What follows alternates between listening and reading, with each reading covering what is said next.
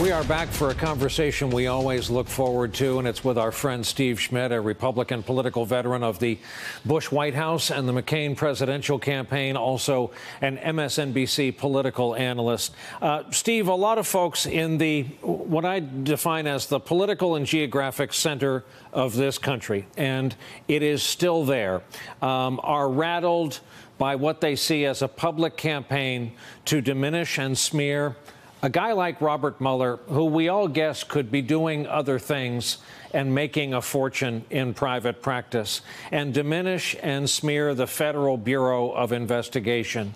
In your view, is it already bearing fruit for those who are behind it? Is it already taking hold or doing damage?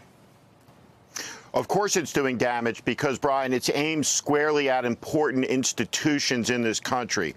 And all through the Trump presidency, we've seen a proclivity to attack essential institutions that define objectively what truth is.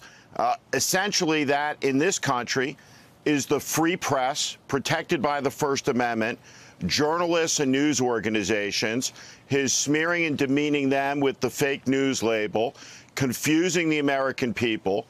We see also now, on the other hand, another important institution in this country uh, aimed at uh, getting to the truth, and that's the American justice system. Uh, above the Supreme Court is inscribed equal justice under the law. Uh, our democracy, our constitutional republic, uh, its foundation is the rule of law. And so we see abetted by a news organization, which has really become a propaganda arm and is deliberately spewing misinformation, just like you would see in any one of a number of autocratic countries, to deliberately undermine faith in these essential institutions with a mix of nonsense and pernicious lies uh, of course it's damaging. Uh, and it needs to be confronted and, and, talked about. We've never seen anything like it uh, in the modern era in this country. And you have to go back to the McCarthy era to see the deliberate smearing uh, of the good men and women uh, serving this country, uh, oftentimes in harm's way. the likes of which we're seeing emanating now out of Fox News and out of the right wing allies of this administration and media. Steve, I get approached by people who are throttled and a little bit scared uh, about uh, what they see as the possibility that um, some form of the president attempting to fire Robert Mueller or uh, the top leadership of the Justice Department happens. And all these folks are depending on uh, the sobriety of institutions like the United States Senate to rise up and take hold and take control.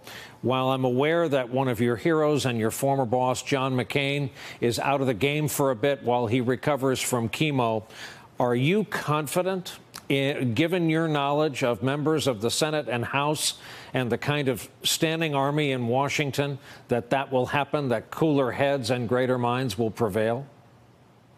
Every one of those members of Congress, Brian, has sworn an oath to uh, preserve, protect, and defend the Constitution of the United States. And what we've seen so far in this administration is an appalling unwillingness on the uh, part of the majority party to stand up to the excesses of this administration, to confront this president when necessary over his indecency, over the divisions he has uh, brought into our uh, public square.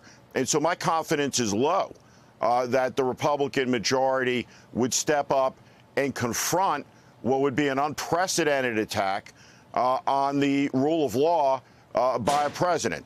And I think it would have the effect of precipitating a constitutional crisis. And I suspect what it would do is it would turn the 2018 midterm elections explicitly into a referendum on impeaching the president.